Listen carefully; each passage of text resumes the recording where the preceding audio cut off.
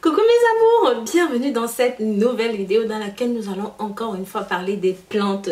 Oui mes amours, parce que si vous êtes tout simplement redneck des plantes comme moi, alors on a des choses à se dire. Mais avant de rentrer dans le vif du sujet, si jamais je ne vais pas faire que vous parler des plantes, non. Je vais vous parler des plantes que vous ne connaissez pas et pourtant vous avez tous chez vous. Ce sont des plantes toxiques et qui sont potentiellement mortelles. Et bien sûr, en parallèle, comme d'habitude, je vous laisserai pas sans rien, mes petits chats. Je vous donnerai encore quelques vertus des plantes. Je vais vous parler ici en tout des 17 plantes. Oui, 7 plantes très toxiques que vous ne devez jamais, en aucun cas, sous aucun prétexte, sous aucune condition, avoir chez vous.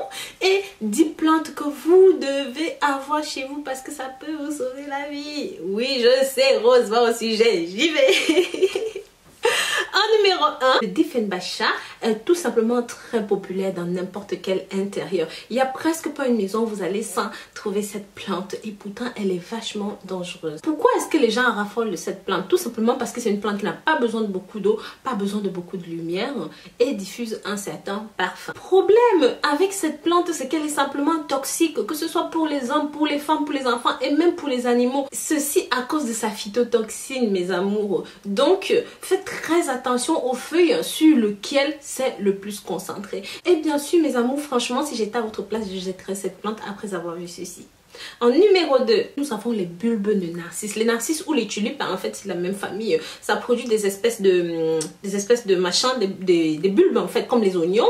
Et les gens ont tendance à confondre ça des fois à l'oignon. Sachez que ça peut être très toxique pour votre santé, mes chéris. Parce que ça contient des alcaloïdes toxiques, pouvant provoquer des douleurs abdominales, des étourdissements et même parfois des convulsions. Sachez aussi que ça peut causer de graves troubles gastro-intestinaux et même parfois la mort. Alors, si je vous dis palmier sagou, ça vous dit quelque chose? Non. Si je vous dis arbre de la paix, oui, ça vous parle, n'est-ce pas? Sachez que cette plante est une plante millénaire. Elle existe depuis la nuit des temps. Mais pourquoi cette plante a survécu là où les autres plantes mouraient, hein, mutaient, se changeaient Simplement parce que cette plante est hautement toxique et que, euh, et que beaucoup d'espèces animales ne s'en approchent pas. Tout est toxique dans cette plante. Que ce soit les feuilles, l'écorce, la tige, les racines, tout est toxique dans cette plante. Et pourtant, nous la Attention mes amours, parce que si jamais vous consommez cela par accident, causez chez vous des vomissements, de la nausée et même des insuffisances hépatiques. Attention. Si je vous dis l'Hollander, le lander ou encore le laurier rose est absolument à proscrire simplement parce que tout est toxique dans cette plante. Oui. Et je vous conseille d'éloigner cela de vos enfants parce que ça peut provoquer des vomissements, des douleurs abdominales, de manière générale un gros malaise. Et je vais même vous dire que dans les cas extrêmes, on a observé une diminution du pouls, des arrêts cardiaques et même encore les états de choc. Donc la personne rentre en état de choc. Donc si jamais vous constatez cela, n'hésitez pas à appeler les urgences parce que c'est très grave mes chéris.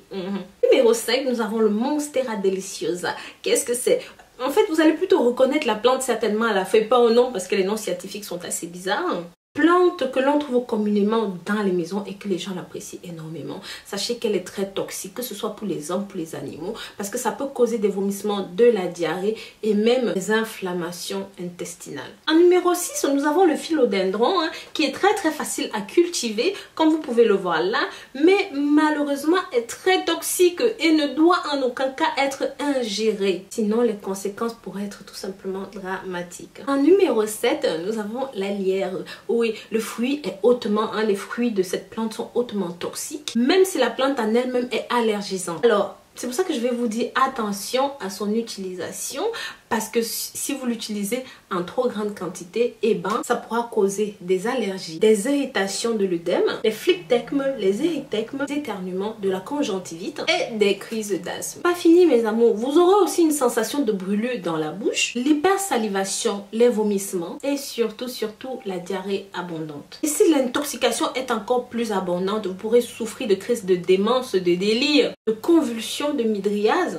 de coma et même parfois la mort par asphyxie. Même si ces plantes sont très attractives, sont très belles, s'il vous plaît mes amours, lorsque vous choisissez vos plantes d'intérieur, prenez des plantes qui sont prenez des plantes qui sont inoffensives pour vous, pour vos animaux, mais surtout pour vos petits-enfants. Donc ici, je vous propose 10 plantes inoffensives, au contraire, qui ont beaucoup d'avantages pour vous. Comme disait un célèbre écrivain dont je ne me rappelle malheureusement plus du nom, il disait qu'une maison sans plantes est comme un homme sans âme. Ça, c'est magnifique et c'est surtout vrai, Car les plantes ont énormément de vertus. Oui, ces plantes fleurs ont énormément de vertus pour vous, pour votre santé, pour votre bien-être. Sachez que les plantes dont je vais vous parler ici ont simplement de nombreuses vertus culinaires et médicinales. C'est pour ça que vous devez impérativement regarder ça jusqu'au bout.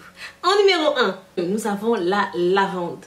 La lavande est une plante aromatique qui a de nombreux avantages. Plus est le plus couramment utilisée pour le système nerveux. Parce que ça va vous aider à calmer, hein, à baisser votre tension, calmer votre corps et surtout si vous êtes en état d'anxiété aggravée, ça va tout simplement vous aider. Et bien sûr, ça soigne aussi les maux de tête et les douleurs musculaires. En numéro 2, nous allons simplement parler de la ruta.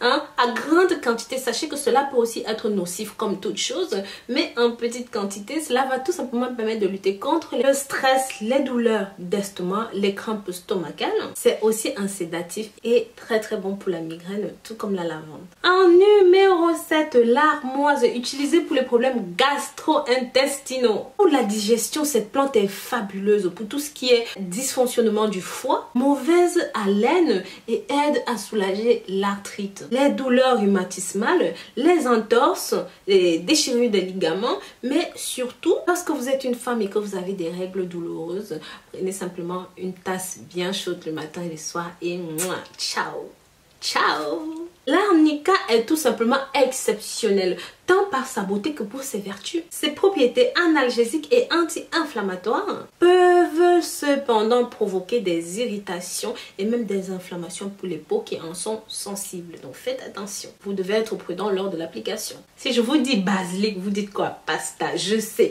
Oui, le basilic est utilisé tant en Afrique, en Europe, en Orient, en Extrême-Orient, un petit peu partout et de multitudes de façons. Mais savez-vous que vous pouvez vous en servir aussi en cas de verre et de parasites intestinaux pour les enfants? Tout ce que vous avez à faire, c'est prendre 10 feuilles, écraser et dans un demi-verre d'eau, faire boire à l'enfant. Et bien sûr, vous pouvez aussi vous en servir en cas de vomissement et de crampes intestinales. La menthe poivrée, mes amours, qui n'adore pas ça? Moi, je suis accro à la menthe poivrée. Matin, midi, soir, Regarde, infusion de menthe poivrée. Matin, midi, soir, j'en consomme. Je ne peux pas vivre sans ça. Mais savez-vous que ça a énormément de vertus pour votre santé? En cas d'indigestion, d'inflammation, d'étourdissement, de maux de ventre, de maux de tête. Voilà. Oui, c'est utilisé pour les brûlures d'insectes, les piqûres d'insectes, les irritations de la peau, bref, et surtout, surtout, surtout, ce que vous ne savez pas, ce que ça peut être utilisé en assaisonnement, par exemple dans du poulet. Ça fait un malheur, mes amis, je vous conseille de tester. Le romero, à raison de ses propriétés exceptionnelles, de ses composants exceptionnels, ceci est un puissant anxiolytique, réduit le stress et la migraine. Sachez aussi qu'elle donne une touche de fraîcheur aux boissons et même à vos salades, vos petits plats. Vous pouvez avec. Deux, nous avons la camomille qui est principalement utilisée comme thé, un thé à la camomille, tout ça. Oui, on s'en sert aussi pour lutter contre tout ce qui est douleur euh, à la tête. Ceci permet de lutter contre les maux d'estomac, l'indigestion et surtout contient des composés qui vont permettre de régénérer la flore gastrique. D'autre part, réduit l'inconfort pendant les règles et surtout va vous aider à vous libérer des infections des yeux. Oui, vous qui vous grattez en permanence, buvez de la camomille. Mais aussi des infections de la gorge, du nez. Et j'en ai pas fini avec vous. Si jamais vous êtes stressé, vous êtes dépressif, je vous conseille de la camomille. Ça va vous aider. Et nous allons terminer par cette plante qui est l'aloe vera. Non, je pouvais pas terminer sans parler de l'aloe vera. Oui, le meilleur pour la fin, comme on dit souvent. Sachez que l'aloe vera, tout d'abord, est très facile à entretenir et ça a de nombreuses vertus médicinales, que ce soit pour en cuisine, vous pouvez l'utiliser pour la santé, vous pouvez l'utiliser pour vos soins personnels, vous pouvez l'utiliser sans compter que ça décore magnifiquement bien la pièce. Ça a des propriétés anti-inflammatoires, ça permet de soulager les muscles endoloris, hein, ça permet de lutter contre les morsures En cas d'AVC, accident vasculaire cérébraux, vous pouvez aussi vous en servir. Et même pour les piqûres d'insectes. Mais encore, contrôle la gastrite, la colite, permet de décongestionner les voies respiratoires. Par exemple, si vous souffrez de l'asthme, du rhume, vous avez mal à la gorge, tout ça, prenez de l'aloe vera. Prenez-en une bonne quantité, appliquez sur la poitrine comme ça, mettez un torchon, un chiffon ou même un soupalace que vous avez sous la main et passez la nuit avec. Le lendemain matin, mes chéris, vous serez sûr que vous serez en pleine forme. Voilà mes amours, nous en avons terminé avec cette magnifique nouvelle vidéo. Maintenant, vous pouvez vous autoproclamer fleuriste ou même naturopathe. Yeah! Et bien sûr, mes amours, si jamais vous avez aimé ce contenu, n'hésitez pas, partagez-le. Oui, parce que vous savez que sur ma chaîne YouTube, on est là pour promouvoir la santé et le bien-être naturel. N'hésitez pas, abonnez-vous, likez, commentez, mais surtout partagez autour de vous. Bisous, bisous! Voilà mes amours, nous en avons terminé avec cette magnifique nouvelle vidéo. Maintenant, vous pouvez vous autoproclamer fleuriste ou même naturopathe. Yeah! Et bien sûr, mes amours, si jamais vous avez aimé ce contenu, n'hésitez pas, partagez-le. Oui, parce que vous savez que sur ma chaîne YouTube, on est là pour promouvoir la santé et le bien-être naturel. N'hésitez pas, abonnez-vous, likez, commentez, mais surtout partagez autour de vous. Bisous, bisous